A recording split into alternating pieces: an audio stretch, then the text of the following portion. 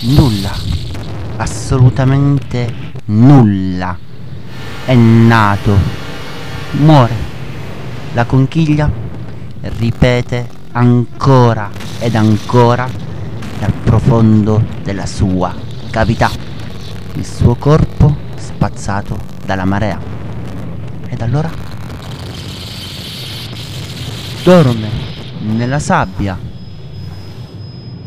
asciugandosi al sole, bagnandosi sotto la luna.